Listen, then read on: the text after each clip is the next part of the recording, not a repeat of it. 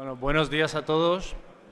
Vamos a dar comienzo a esta que es la quincuagésima sesión de las jornadas de obras de interés geotécnico organizadas por la Sociedad Española de Mecánica del Suelo e Ingeniería Geotécnica y que en esta ocasión corre a cargo de la empresa Eptisa, a la cual eh, aprovecho para agradecer ya de inicio todo el esfuerzo que, han dedicado a la preparación y que van a dedicar a la presentación de su empresa y de sus, eh, trabajos.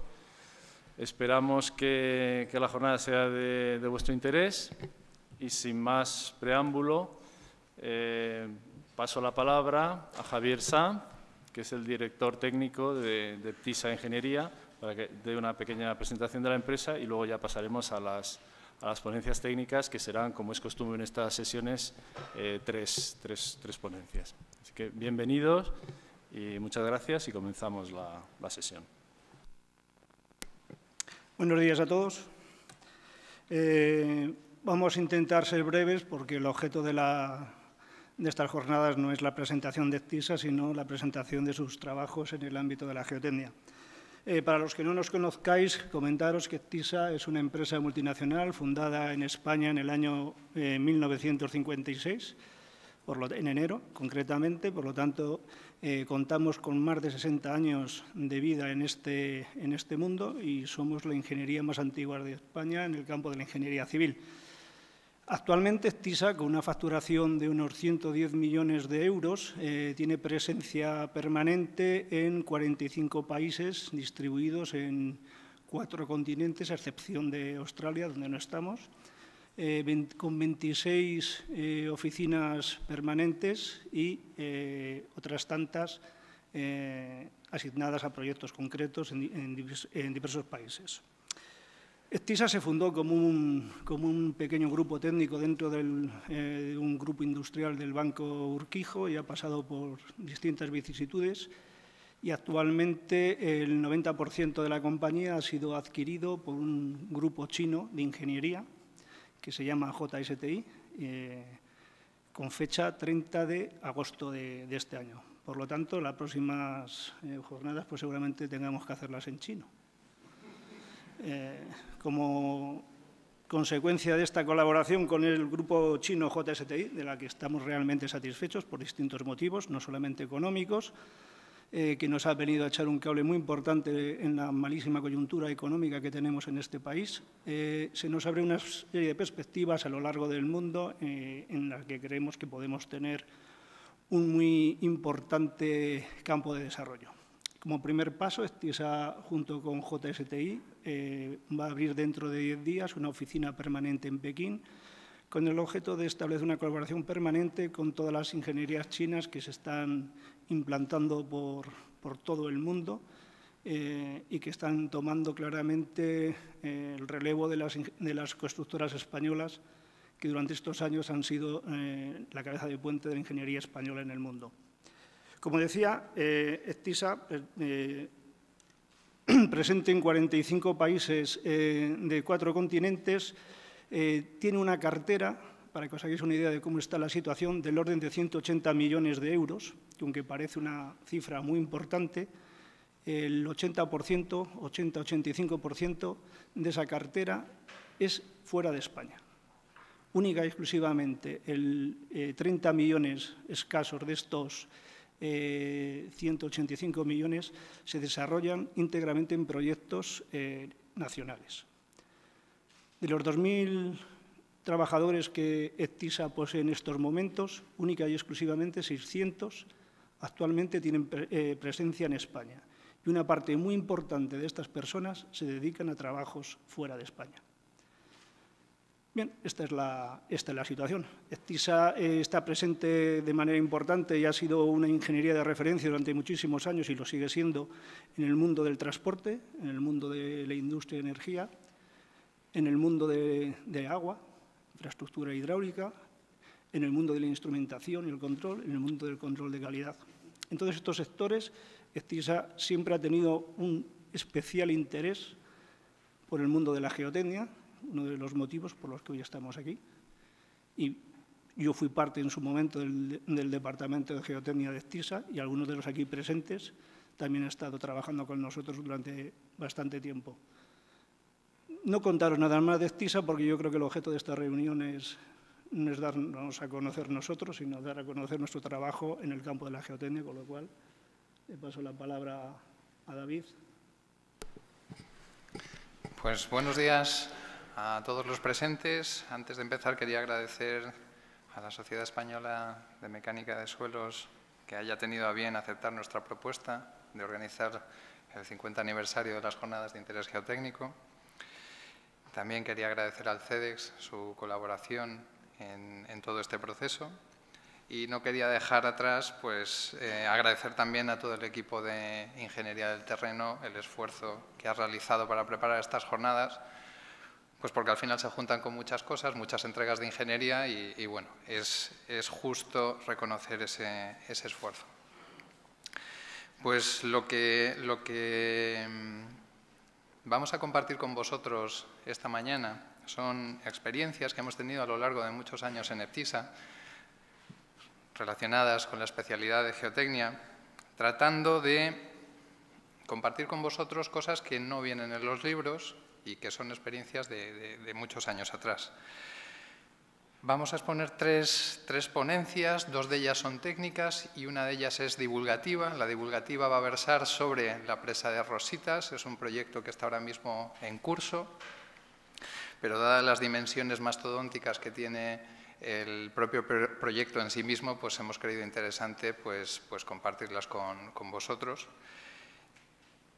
Eh, hay otras dos ponencias, una de ellas es la metodología de reutilización de materiales en el entorno anglosajón, cuyo objetivo es eh, tratar de acotar en los procesos de licitación los riesgos de las constructoras y concesionarias españolas de cara a la presentación de la oferta, de la oferta final, ver con qué riesgo asociado, qué oportunidades tienen a la hora de, presentar el presupuesto final. Y va a haber una tercera ponencia que va a versar sobre las patologías de origen geotécnico en infraestructuras pavimentadas que va a poner de relieve un poco bueno, pues las grandes barbaridades que se han hecho en los últimos años a nivel de construcción, no solo en España, porque va a versar sobre distintos países. Y, y bueno, que nos parece muy interesante porque al final todo esto redunda en tener unas infraestructuras eh, paupérrimas, que, su, durabilidad pues, eh, es muchísimo menor de la deseable, pues al final eh, toca el bolsillo de los usuarios. ¿no? Indudablemente un pavimento que esté en mal estado pues, va a desgastar más los vehículos que circulan por encima y también mayores consumos, etcétera. Bueno, pues sin más, pues paso a, presentar a, Gonzalo García, ingeniero de caminos, del Departamento de Ingeniería del Terreno de PTISA, que va a exponer la metodología de reutilización de materiales en el entorno anglosajón. Así que, Gonzalo, cuando quieras. Bueno, como comentaba David, vamos a explicar una metodología de reutilización de materiales que hemos desarrollado en ETISA y que está basada en la forma de trabajo principalmente de los países anglosajones, en particular del de Reino Unido. Me gustaría agradecer a Estrella y a, Lola la colaboración tanto en la presentación de la ponencia como, de la, como del artículo técnico. El índice que vamos a tratar hoy, en primer lugar, vamos a empezar describiendo algunos de los materiales más comunes en Reino Unido. Después hablaremos un poco de los principales parámetros y ensayos para clasificarlos. Eh, hablaremos un poquito de normativa, que aunque no guste, pues siempre hay que meterse un poquito en ello. Y luego, por último, explicaremos la metodología pura y dura. Bueno, ¿por qué una metodología de reutilización de materiales? Pues principalmente porque las obras de movimiento de tierra suponen en los proyectos la, mayor, la partida de mayor coste y de mayor consumo de material. Eh, estamos hablando de carreteras, ferrocarriles, presas. En concreto, por ejemplo, en el tema de carreteras, el 80% del coste se va siempre entre el movimiento de tierras, las estructuras y, los firmes, por ejemplo.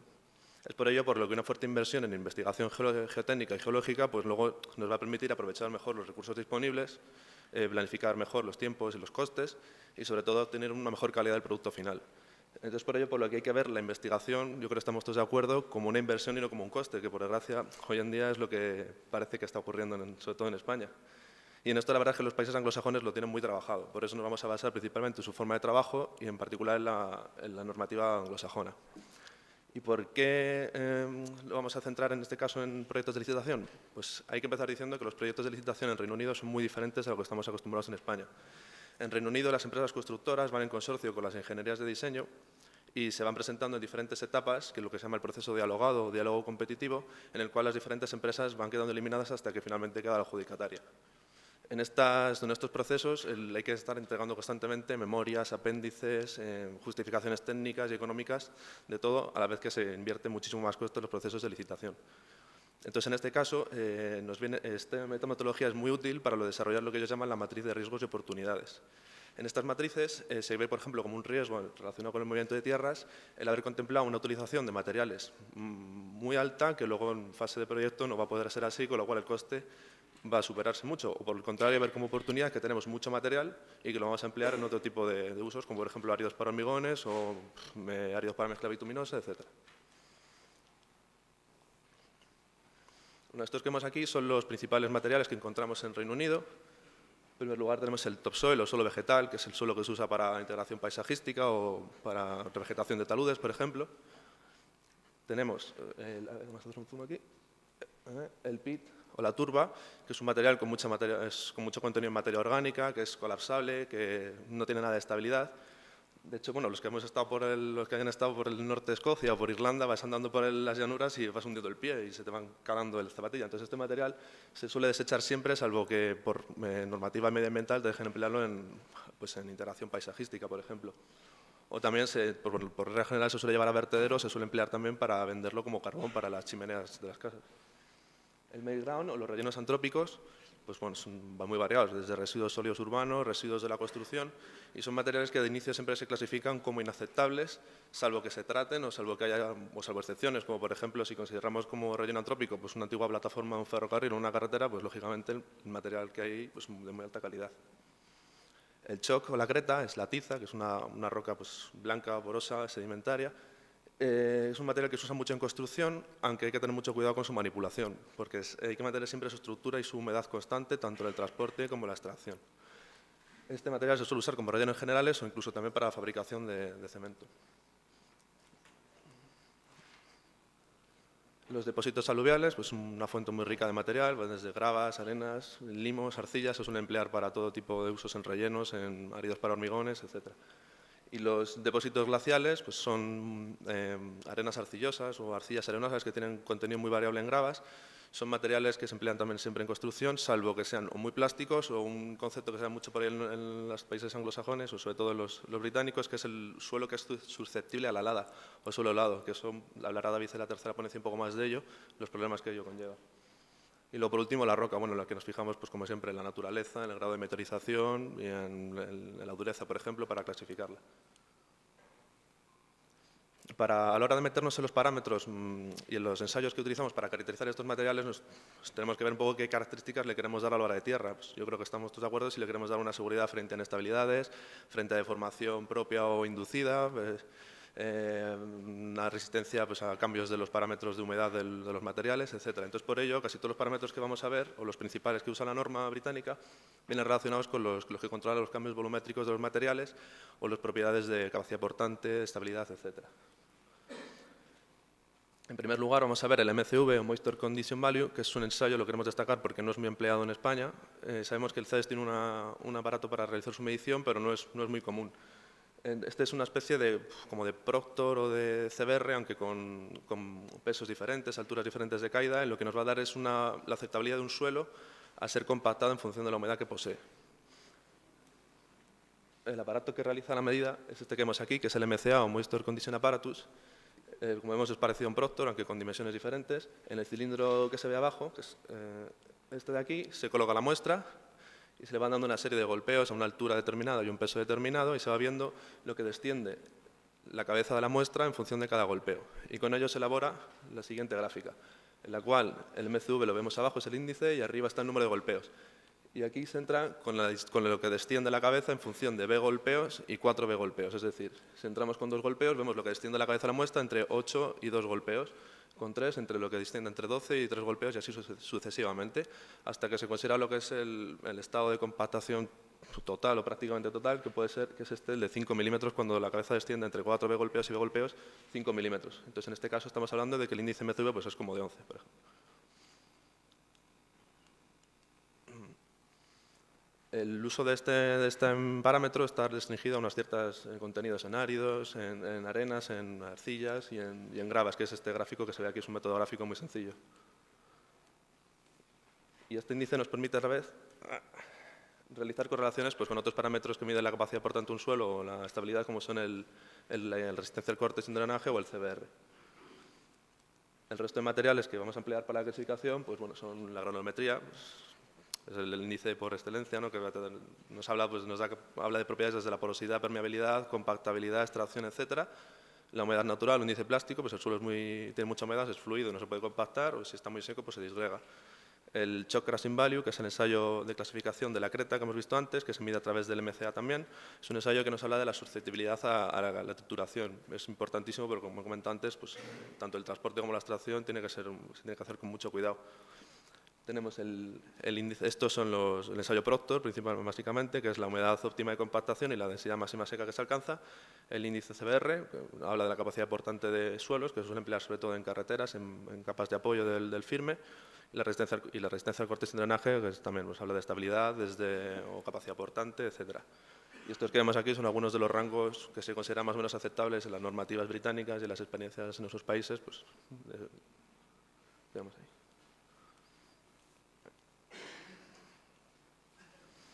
Y vamos a entrar un poco en normativa. Yo creo que cualquiera que haya trabajado alguna vez en un proyecto en, en Reino Unido sabe que son, las normativas son un infierno, son muy liosas. Una normativa te lleva a otra, hay cláusulas, subcláusulas, apéndices, notas, etcétera, etcétera. Pues esto de este, este método, estas formas de clasificar materiales son de lo más británico que hay dentro de lo británico, son muy complejas. Entonces nos vamos a centrar únicamente en, en las tablas que vamos a ver a continuación, que son de la serie 600 del volumen 1, que son estas que vemos a continuación. La primera de ellas, que es la tabla 6.1, que es la que nos habla de, nos dice las clases de materiales que hay. Tenemos la clase que se, indica con un número, una letra y a veces hasta un número. Por ejemplo, podemos tener una clase desde la 1C hasta la 6.5, por ejemplo. Cada una de ellas lleva asociada una descripción general del material, pues un suelo granular, un suelo seleccionado, el, es turba, es creta, etcétera y luego, aunque no aparece aquí, eh, tiene otras columnas que vienen pues, una limitación por la procedencia del material, pues si está contaminado, em, y vienen también los parámetros que entran en juego en su clasificación y los límites de aceptabilidad, aunque en eso solo vienen algunos, el resto que, es conviene eh, identificarlos luego en fase de diseño y son particularizados para cada proyecto, como es lógico. Este es un ejemplo de la tabla 6.1, como aquí lo vemos, la tabla de clases, uso, el descripción general, uso típico, que también lo indica, procedencia y parámetros y límites de aceptabilidad. En la tabla 6.7, como decía, pues también eh, nos limita la procedencia del material, pues en ciertos casos limita el uso a, materiales naturales, eh, otras veces pues te limita el uso si es pues, material de procedente de industria o de dragado, por como citar algunos ejemplos. Y así un poco resumen a todo, podremos decir que la normativa británica hay hasta 50 clases de materiales, unas 35 limitaciones por procedencia y más de 20 parámetros que entran en el juego de la clasificación, desde granometría, sin humedad, pH, contenido en sulfatos, etcétera, y aproximadamente, lo comparamos con los 13 parámetros, 13 materiales que hay en el PG3, que es la norma de referencia de clasificación de materiales en España, estamos hablando desde los inadecuados, tolerables, seleccionados, zahorras y tal, pues son unos 13, con lo cual hay un poco de diferencia. Por eso por lo que creemos que es importante realizar esta metodología. Así que vamos a ello. Vamos a explicarlo un poquito a través de cuatro pasos principales. En primer lugar, vamos a hacer un estudio de excavabilidad, ver cuánto material podemos excavar y dar un primer volumen. En segundo lugar, vamos a clasificar ese material según las tablas que hemos visto antes de la SHV o en función de las normativas específicas, pues, por ejemplo, la normativa específica de material para balasto de ferrocarriles o para áridos de hormigón estructural. Eh, luego también veremos un poco los tratamientos de mejora, pues para hacer suelos inaceptables, convertirlos en aceptables o para mejorar suelos. Y luego una estimación estadística, este es el punto clave, que es la estimación estadística del porcentaje de material que, de, existente de cada material. Esto es eh, extrapolar lo que vemos en la campaña geotécnica respecto a la escala real en obra. En primer lugar, vamos a ver el estudio de escalabilidad, que en este caso vamos a suponer, se parte de aunque no siempre es así, pero el 100%, vamos a suponer que el 100% del suelo es excavable, con lo cual nos vamos a centrar en la, roca. En este caso vamos a mostrar un, ejemplo gráfico, que es el de Peter y Fuchs, en el cual entramos en la gráfica según el índice de fracturación de una roca y el índice de resistencia puntual y nos va a dar un grado de la dificultad y el método de excavación de una, de una, de una roca. Por ejemplo, desde métodos mecánicos, voladura, fractura hidráulica, etcétera. Con esto, con lo cual tenemos ya un volumen total de material extraíble, lo tenemos separado entre suelo y roca, con lo cual se procede a su clasificación según las, las tablas que hemos visto antes, que para simplificar un poco la explicación los hemos resumido en este diagrama que vemos aquí. En primer lugar, hay ciertos materiales que tienen clasificación directa, como son la creta, el cha, que es la, clase 3, el suelo vegetal, que es la clase 5, el suelo 2E, que no aparece aquí, que es un suelo de lagunas o parajes naturales que tienen contenido en cenizas de alto horno, pero limitado. Y una vez que tenemos los suelos clasificados que son de clase directa, pues entramos en primer lugar por los parámetros de contenido de finos. Se va entrando en clase clase y en caso de que no cumpla se pasa a una clase siguiente y así sucesivamente. En este caso, por ejemplo, el porcentaje de finos, si es menor de un 15%, pues nos dice que es una clase 1. Si cumple alguno de estos parámetros siguientes, pues se clasifica como solo 1A, 1B, 1C y si no, como clase 4. Que el porcentaje de finos es mayor de 15%, pues entonces entraría en la clase 2, 2A, 2B, 2C, etc. Y si no cumple ninguno, el 4 y así iríamos saltando uno a uno. Estos, parámetros que vemos aquí pues son particularizados para un proyecto porque no todos estos límites, como decía antes, están indicados en las tablas de la normativa. En segundo lugar, se, clasifica el suelo, el, perdón, la roca, que son las clases 6 y 7, que aquí no hemos mostrado porque como vemos ahí, pues hasta clases S, clases 6 y a su vez subclases dentro, eh, y hemos entrado en muchísimos parámetros. Con lo cual las rocas se clasifican según eh, estas dos clases, salvo algunas excepciones, que la roca esté pues, con mucho contenido arcilloso, muy meteorizada, que se clasificaría como suelo. La clase 8 es una mezcla de suelos 1, 2 y 3, que se usa para apoyo de tuberías en zanjas. Y la clase 9, que lo vemos mejor en la siguiente, yo creo. Aquí, las clases 9, que son suelos 6 o 7, o sea, son suelos seleccionados, son buenos, que se estabilizan con cal o con cemento. Y todo lo que no entre en la tabla como estos materiales pues se clasifica como inaceptable. Esto no quiere decir que no se use, porque siempre puedes tratarlo o puedes mezclar el suelo, lo que sea, para hacerlo aceptable y entrar de nuevo en la clasificación desde el principio, o si no, llevarlo a vertedero directamente. Entonces, como, como comentaba, los tratamientos de mejora van destinados o a convertir materiales inaceptables en aceptables o para mejorar eh, eh, suelos para darles un uso pues, más exigente. Los parámetros así, vamos a mostrar algunos ejemplos de tratamiento de materiales, de los parámetros más comunes, pues, eh, pues que son aceptables por el contenido de humedad, pues muy fácil, pues eh, se, puede escarificar el suelo, abrirlo y que se seque, o mezclarlo con cal para que sea, el, secado sea a través de un proceso químico. Si son inaceptables por la agronometría, pues se puede cribar o machacar el suelo o mezclarlo con otro suelo y conseguir la proporción que queramos. Si son inaceptables por MCV, resistencia al corte sin drenaje, pues lo mismo, se puede cribar, se puede machacar, se puede mezclar con otro suelo, se puede estar con cemento y tendremos una mayor estabilidad o mayor capacidad portante de ese material.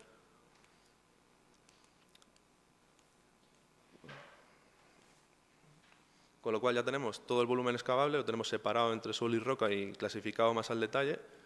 Los hemos tratado para, según los usos que queramos. Entonces vamos al objetivo principal de toda esta metodología, que es estimar eh, qué porcentaje, de, o sea, qué volumen tengo de cada tipo de material. Esto es extrapolar, como decía antes, lo que hemos visto en los ensayos al total de volumen excavable. Esto a modo muy simplificado es si tenemos 100 metros en los que el 80% del suelo lo hemos clasificado como 1A y el 20% como inaceptable a vertedero, pues podemos extrapolar que el volumen de esos 100 metros total, más o menos, como término medio, el 20% va a vertedero y el 80% pues va a otro tipo de usos. Esto, pues, si quiere ser, esto va enfocado más o menos a la, elaboración de las matrices estas que de, riesgos y oportunidades, la que, por ejemplo, si quiero ser más optimista, puedo suponer que voy a poder reutilizar más material, o al revés, o que voy a poder utilizar menos y ser más conservador. Pero yo creo que mejor se ve es a través de ejemplos. Vamos, así que vamos a mostrar tres de ellos. Este primero de ellos es de una carretera en Escocia. Aquí vemos un perfil geológico de una excavación en roca Aquí un poco para que veamos un poco las diferencias entre los proyectos de licitación. Esto es un proyecto de licitación en el que vemos que en dos kilómetros hay unos 20, entre sondeos y calicatas hay unos 20 ensayos, o sea, unos 20 prospecciones, o sea que es, también es un caso mejor extremo, pero eh, hay una gran diferencia respecto a lo que acostumbramos en España. Entonces, vamos a clasificar la roca, puesto que hemos supuesto que el suelo es excavable al 100%, con lo cual utilizamos el método gráfico de Petit que hablaba antes, y tenemos el qué porcentaje de suelo es podemos excavar y a través de qué, de qué métodos de excavación o de extracción, mejor dicho a través de otro tipo de ensayos, pues dureza o también habrá que identificar eh, eh, volúmenes disponibles, etcétera, pues podemos clasificar que el 90% del suelo excavable es una roca sana y el 10% es lo que eh, es una roca meteorizada y dentro a su vez pues lo clasificamos como clase 6 o 7 en estos porcentajes que aparecen por aquí. Segundo ejemplo va más enfocado a suelos. Esta es en Irlanda, sí, esta es una carretera en Irlanda. Aquí, en primer lugar, se hace una clasificación muy genérica entre clase 1 y 2 en porcentaje de finos. En segundo lugar, se entra con, con el porcentaje de humedad que tiene el suelo. Aquí, en este caso, como se detalló para este proyecto en particular, pues se consideraron estos límites del índice óptimo, la humedad óptima de compactación menos un 3% y más un 2% como los límites aceptables, con lo cual vemos que todo ese suelo realmente es clase 3, solo el 33%. Aunque esto no quiere decir que este suelo haya que, desecharlo, simplemente pues, se pueden cambiar sus condiciones de humedad, como decíamos antes. Los otros parámetros que influyeron en la clasificación son el límite plástico, que este es para la clase 2, que son los ya cohesivos, o el MCV,